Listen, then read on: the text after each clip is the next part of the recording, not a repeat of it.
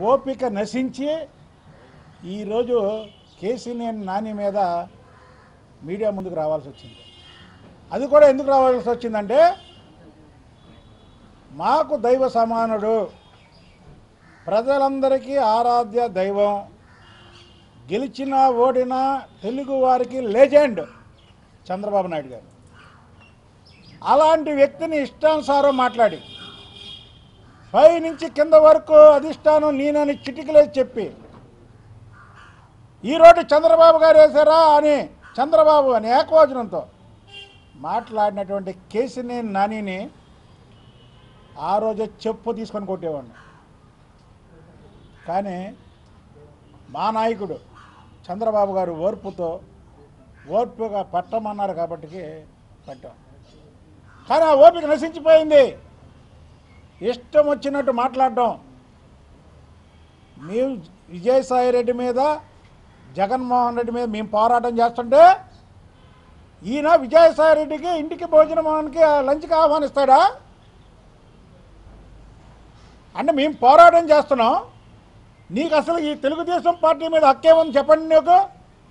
YS Rajasekhara Reddy ముఖ్యమంత్రిగా ఉన్న కాలం నుంచి ఇక్కడ ఉన్నటువంటి ముగ్గురం కూడా తెలుగుదేశం పార్టీ జెండా భుజాన్ని వేసుకున్నాం. వాళ్ళు చేపట్టే ప్రజా వ్యతిరేక విధానాలు పది సంవత్సరాలు పోరాడాం రెండు వేల పద్నాలుగులో అంతకుముందు చంద్రబాబు గారి దగ్గరికి ఎవరైనా విజయవాడ నుంచి వెళ్తే విజయవాడలో తెలుగుదేశం పార్టీ ఎక్కడ ఉందా అన్నారు. అన్ని కులాలు అన్ని వర్గాలు అన్ని మతాలు విజయవాడలో ఏకమయ్యి ఇది కుల పార్టీ కాదు. అందరి పార్టీ అని రుజువు చేసాం మేము. రెండు వేల పద్నాలుగు కార్పొరేషన్ ఎన్నికల్లో పార్టీ పుట్టిన తర్వాత ఎప్పుడూ లేదు. ఇక్కడ జెండా ఎగరేసామంటే చంద్రబాబు నాయుడు గారి నాయకత్వం విజయవాడలో కులాలకి మతాలకి అతీతంగా అందరూ కూడా తెలుగుదేశం పార్టీలో ఉన్నారని ఒకే ఒక మెసేజ్తో ఇక్కడ గెలిచాం. ఏమంటావా నువ్వు? అసలు నువ్వేంటి? నీ స్థాయి ఏంటి? ఏదో డబుల్ మర్డర్ కేసులో సింగల్ ముద్దాయిలాగా ఎన్ని ఏంటి? లోపల కూర్చొని ఈ విజయవాడ నగరానికి ఒక వంగవీటి మోహన్ రంగా గారు లేదా ఒక దేవిని నెహ్రూ గారు వాళ్ళు వేయలేరంటే సరే అది అందరికీ తెలుసు మనకి. ఈ లోపల ఆఫీసులో కూర్చొని నేనే పెద్ద హీరోని ఏ నువ్వు హీరో ఎక్కడ హీరోవి?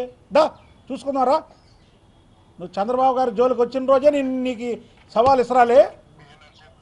చంద్రబాబు గారి పర్యటన అయితే బలహీన వర్గాలకు చెందినటువంటి నాకు కానీ మీరా గారు కానీ ఇరవై సంవత్సరాలుగా వంటంలో మేము పార్టీని మోస్తుంటే రూట్ మ్యాప్ చెప్పడు.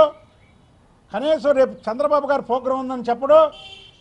తన ఇష్టానుసారం ఇందాక ఈయన చెప్పినట్టు బోండమ్మ గారు ఎవరైతే చెప్పాడో వాడి పేరెత్తడానికి కూడా అంత సీన్ గలవాడు కాదు. ఆ వంగవీటి మోహన్ రంగా గారు హత్య కేసులో ముద్దాయిని వంటంలో తిప్పుతూ కార్యక్రమాలను నిర్వహిస్తున్నాడు. నువ్వు రంగా హత్య కేసులో ముద్దాయిని రంగం చంపేశాను రంగగారిని చంపేశానని వీధి వీధి అలా ప్రచారం చేసుకున్న వ్యక్తిని తిప్పితే ఓట్లు వేస్తారా ప్రజలు చీకొడతారు కానీ? ఏంటి నీకు అహంకారం? నువ్వేంటి? నీ స్థాయి ఏంటి? వారి సీట్లు ఇవ్వడం ఏ మన ఎర్రబోతురావు నాయుడు ప్రధాన కార్యదర్శి పదవి అడగడానికి వెళ్తే ఇతను ఇస్తే ఇస్తానని చెప్పాలి ఏమనంటే ఏమని అనాలి. మీ క్యాస్ట్ ఏముంది ఇక్కడ?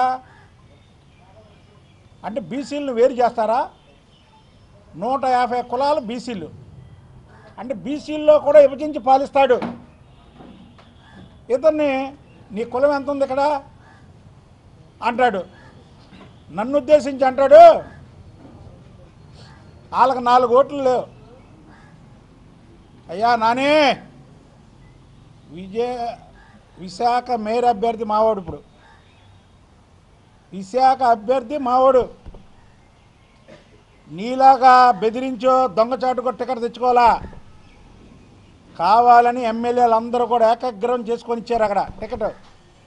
మేము కులాల గురించి ఏ రోజు మాట్లాడాలా నీ గురించి మాట్లాడాల్సి వస్తుంది. నాలుగు ఓట్లు లేవా? నాలుగు ఓట్లు ఉన్నా మేము చెప్తే వేస్తారు.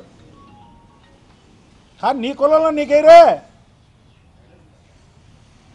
చంద్రబాబు గారు భిక్షతో నువ్వు ఎంపీ అయ్యి నా సొంత ఇమేజ్తో గెలిచానంటావా?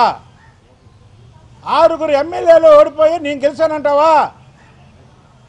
పది పైసలు ఖర్చు పెట్టావా నువ్వు?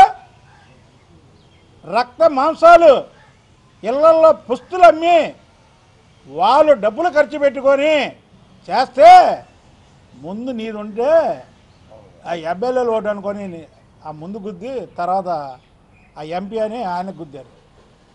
నీకేంటి అహంకారం?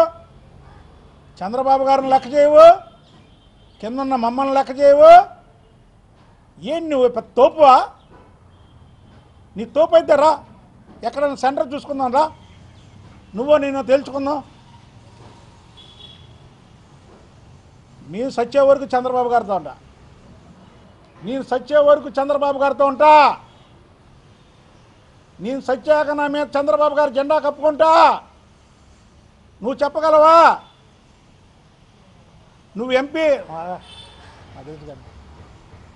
నీకు ఎంపీ పదవి ఇవ్వకపోతే పోతావు. మీ అమ్మాయికి మేయర్ పదవి ఇవ్వకపోతే పోతావు. నేను ఇందులోనే ఉంటా. చంద్రబాబు గారు నాకు దైవం. అని నేను ఇప్పుడు చెప్తున్నా. ఇంత జరిగినా సరే నేను చంద్రబాబు గారితోనే ఉంటాను. నువ్వు ఉండవు రేపు ఇంకో పార్టీలో పోతావు. ప్రజారాజ్యాన్ని నాశనం చేసావు. ఇప్పుడు ఈ పార్టీని నాశనం చేయడానికి చూస్తున్నావు. కాబట్టికే మీ ముగ్గురు సమావేశం అయ్యి చంద్రబాబు గారి ప్రతిష్ట కాపాడాలి.